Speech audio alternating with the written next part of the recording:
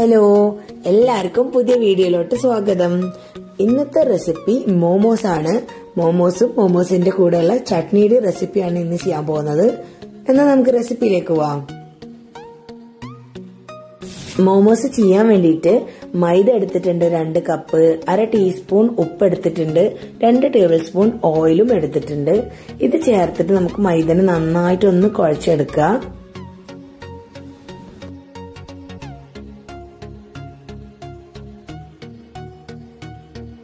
വെള്ളത്തിന്റെ അളവ് പറയണില്ല. മൈദ കുഴഞ്ഞു വരാനുള്ള പരിവാവുന്നത് വരെയുള്ള ആവശ്യത്തിനുള്ള വെള്ളം ഒഴിച്ചിട്ട് കുഴച്ചെടുക്കുക.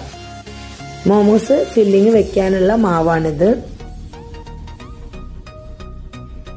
കുഴച്ച് പരുവാകുമ്പോൾ അതിന്റെ മുകളിലേക്ക് നമുക്കൊരു വൺ ടീസ്പൂൺ ഓയിൽ വെറുതെ ഒന്ന് തേച്ച് നന്നായിട്ട് ഒന്ന് ഒന്നും കൂടി ഒന്ന് കുഴച്ചിട്ട് അവിടെ വെക്കാം. നമുക്ക് ഒരര മണിക്കൂർ കഴിഞ്ഞിട്ട് ചെയ്യാം.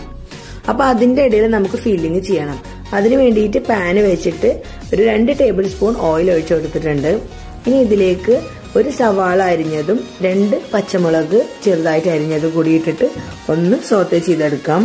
ഇതൊന്ന് ലൈറ്റ് ഷെയ്ഡ് കളർ മാറുമ്പോൾ നമുക്ക് ബാക്കി വെജിറ്റബിൾസ് ഇതിലേക്ക് ആഡ് ചെയ്ത് കൊടുക്കാം. ചിക്കന്റെ ഫില്ലിംഗ് ആണ് ചെയ്യുന്നത് വെജിറ്റബിൾസും ഒന്നിച്ചാണ് ചെയ്യുന്നത്. അപ്പോൾ ക്യാപ്സിക്കം ഇട്ട് കൊടുത്തിട്ടുണ്ട്. ഇതൊരു പകുതി ക്യാപ്സിക്കാണ് നമുക്ക് എത്ര ആവശ്യം അതിനനുസരിച്ചിട്ട്. ക്യാരറ്റ് ക്യാബേജ് എല്ലാതും കുറച്ച് കുറച്ച് അളവിലാണ് ചെയ്യുന്നത്.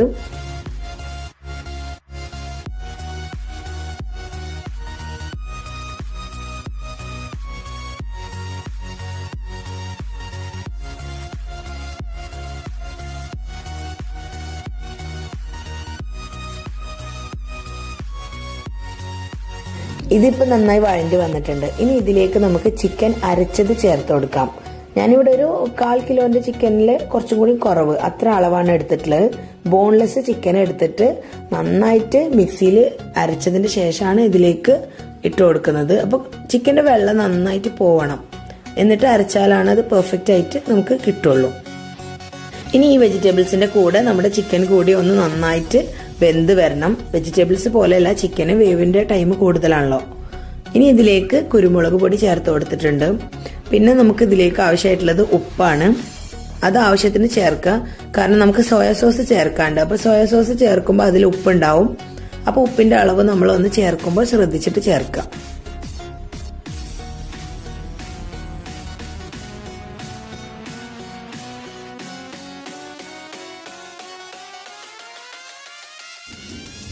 ഇതിലേക്ക് നമുക്ക് സോയ സോസ് കൂടി ചേർത്ത് കൊടുക്കാം. ഒരു ടേബിൾ സ്പൂണോളം സോയ സോസ് ഞാൻ ചേർത്ത് കൊടുത്തിട്ടുണ്ട്. ഇവിടെ ഞാൻ എടുത്ത അളവ് അത്ര അധികമൊന്നുമില്ല. അതുകൊണ്ടാണ് ഒരു ടേബിൾ സ്പൂൺ. നമ്മൾ എടുക്കുന്ന ക്വാണ്ടിറ്റിക്ക് അനുസരിച്ച് നമുക്ക് കൂട്ടും കുറയ്ക്കുകയൊക്കെ ചെയ്യാം. ഫില്ലിംഗ് ഇവിടെ ആയി തുടങ്ങിയിട്ടുണ്ട്. ഇതൊരു ഫിഫ്റ്റീൻ മിനിറ്റ്സ് ആണ് ഞാൻ വെച്ചിട്ടുള്ളത്. ഇനിയും ഇത് വേവണം എന്നുണ്ടെങ്കിൽ നമുക്കിത് മോമോസ് ചെയ്യുമ്പോൾ ആവിയിൽ ഇത് കൂടുതൽ കുക്കാവും അപ്പൊ ഇത്ര മതി. ഇപ്പോൾ ഇത് കുക്കായിട്ടുണ്ട് ഇനി നമുക്ക് അടുത്തതായിട്ട് ഇത് ഫില്ല് ചെയ്ത് തുടങ്ങാം. ഇത് നല്ല സോഫ്റ്റ് ആയി വന്നിട്ടുണ്ട്. ഇനി നമുക്ക് ഇതിന്ന് ചെറിയൊരു ബോൾ എടുക്കാം. വളരെ ചെറിയ ബോൾസ് ആണ് കേട്ടോ യൂസ് ചെയ്യുന്നത്. എന്നിട്ട് വളരെ കുറച്ച് പൊടി ഇട്ടിട്ട് വേണ്ടത് പരത്തിയെടുക്കാൻ ഒരുപാട് പൊടി ഇടരുത്. മാക്സിമം എത്ര നൈസാക്കാൻ പറ്റുമോ അത്രയും നൈസാക്കിയിട്ട് പരത്തിയെടുക്കാം.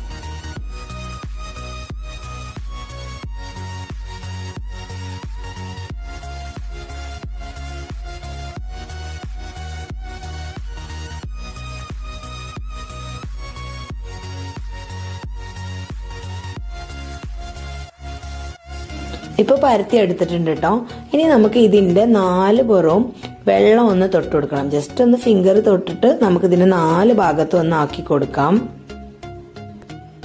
എന്നിട്ട് നമുക്ക് മസാലയുടെ ഫില്ലിങ് ഇതിന്റെ ഉള്ളിലേക്ക് വെച്ചിട്ട് ഒന്ന് മടക്കി കൊടുക്കാം. മടക്കുക പറഞ്ഞാൽ ഇതിനൊരു പ്ലീറ്റ് ചെയ്യുന്ന രീതിയുണ്ട് മോമോസ് ചെയ്യുന്നതിന്. പല രീതിയിലും നമുക്കിത് ചെയ്യാം കേട്ടോ രണ്ട് രീതി ഞാൻ കാണിച്ചു തരാം. നമ്മളിങ്ങനെ ഉണ്ടായിട്ട് ചെയ്യുമ്പോഴുള്ള ഒരു രീതിയും അതുപോലെ കുറച്ച് നീളത്തിൽ ലീഫിന്റെ ഒരു ഷേപ്പിൽ വരുമ്പോൾ ചെയ്യുന്ന രീതിയും ഞാനിവിടെ ചെയ്യുന്നുണ്ട്. പ്ലീറ്റ്സ് ഇട്ട് കൊടുക്കുകയാണ് നമ്മളെ സാരിക്കൊക്കെ പ്ലീറ്റ് ഇടുന്ന മാതിരി പ്ലീറ്റ് ഇങ്ങനെ ഇട്ട് കൊടുക്കുക. എന്നിട്ട് അതിന് കവർ ചെയ്തെടുക്കുക. ആദ്യം ആദ്യമൊക്കെ ചെയ്യുമ്പോൾ നമുക്ക് കുറച്ച് ടഫായി തോന്നും. പിന്നെ അതങ്ങ് ലെവലായി കിട്ടും.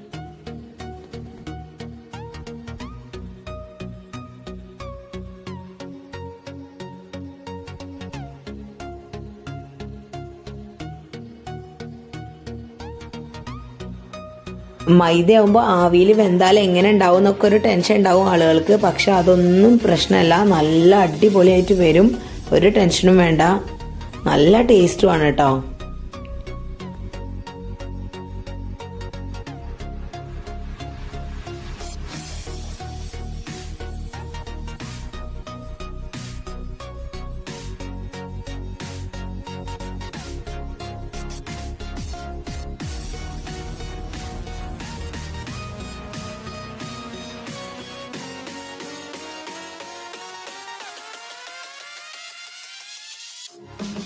ബാക്കിയുള്ള മാവ് കൂടി നമുക്ക് ഇതുപോലെ തന്നെ ചെയ്തെടുക്കാം.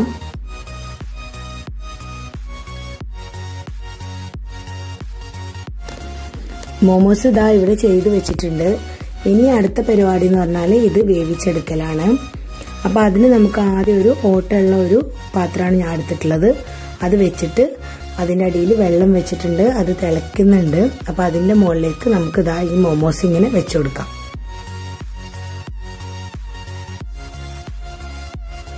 ഇനി ഇതൊരു ഇരുപത് മിനിറ്റ് കവർ ചെയ്ത് വേവിച്ചെടുക്കാം നമുക്ക്. അപ്പോൾ ആ ഒരു ടൈമിൽ നമുക്ക് ഇതിലേക്കുള്ള ചട്നി തയ്യാറാക്കാം. അതിന് വേണ്ടിയിട്ട് ഞാനിവിടെ ഒരു പാനിലേക്ക് പത്ത് റെഡ് ചില്ലി എടുത്തിട്ട് വേവിക്കാൻ ഇട്ടിട്ടുണ്ട്. ഇതൊരു ഫിഫ്റ്റീൻ മിനിറ്റ്സ് ഞാൻ ഓൾറെഡി വെന്തതാണിത്. ഇതിലേക്ക് ഇനി രണ്ട് തക്കാളി കൂടിയിട്ട് ഇട്ട് കൊടുക്കാം. രണ്ട് തക്കാളി മുറിച്ചിട്ട് ഇട്ട് കൊടുത്തിട്ട് ഇതാ ഇപ്പോൾ അതൊന്ന് വെന്ത് വന്നിട്ടുണ്ട്. ഒരു ടെൻ മിനിറ്റ്സ് എടുക്കുള്ളൂ. അപ്പത്തിന് നമുക്ക് അതിന്റെ തൊലി കൂടി ഇളക്കി മാറ്റണം. ഈ തക്കാളിയുടെ തൊലി ഇളക്കി മാറ്റുക നമ്മുടെ മുളക് നല്ല സോഫ്റ്റ് ആയിട്ട് വന്നിട്ടുണ്ടാവും. ഇനി നമുക്കിത് മിക്സിയിൽ അടിച്ചെടുക്കാം.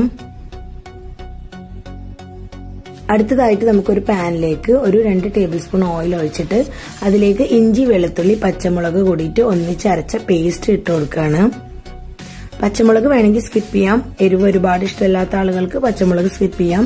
ഓൾറെഡി ഉണക്കമുളക് ഉണ്ട് നന്നായിട്ടൊന്ന് വഴറ്റിയെടുക്കുക. ഇതിന്റെ കളറ് ഷെയ്ഡ് ഒന്ന് മാറുന്നത് വരെ വഴറ്റിയെടുക്കുക.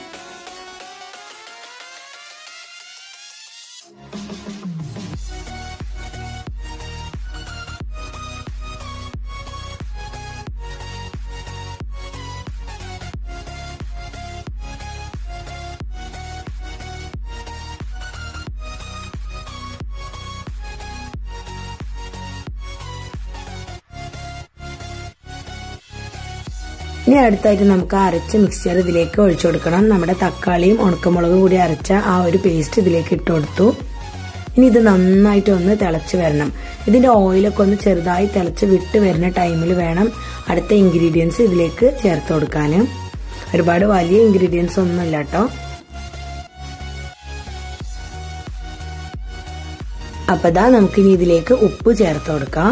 ഇനി ഇതൊന്ന് ഉപ്പ് ചേർത്ത് നന്നായിട്ടൊന്ന് ഇളക്കിയെടുത്തതിന് ശേഷം അടുത്തായിട്ട് നമുക്ക് ഒരു ടീസ്പൂൺ പഞ്ചസാര കൂടി ഇതിലേക്ക് ചേർത്ത് കൊടുക്കാം.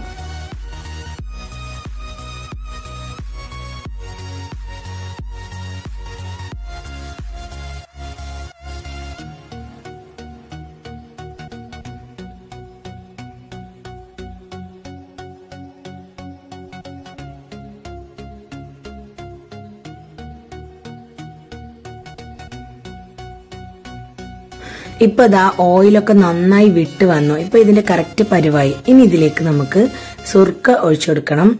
ഒരു ടേബിൾ സ്പൂൺ സുർക്ക ഒഴിച്ചു കൊടുത്തിട്ടുണ്ട്. പുളി കൂടുതൽ വേണമെന്നുണ്ടെങ്കിൽ കുറച്ചും കൂടി ഒഴിച്ചു കൊടുക്കുക. അല്ലെങ്കിൽ നമുക്ക് നാരങ്ങ നീരും യൂസ് ചെയ്യാം. അപ്പൊ ചട്നി റെഡിയായി.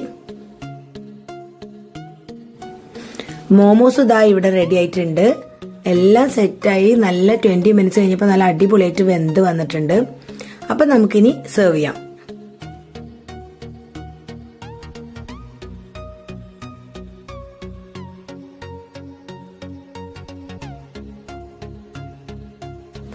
ചിക്കൻ മോമോസ് ഇതാ ഇവിടെ റെഡി ആയിട്ടുണ്ട്. അപ്പോൾ വീഡിയോ ഇഷ്ടമായാൽ എല്ലാവരും മറക്കാതെ സബ്സ്ക്രൈബ് ചെയ്യാം. പുതിയൊരു വീഡിയോ ആയിട്ട് നമുക്ക് വീണ്ടും കാണാം. അതുവരെ ബൈ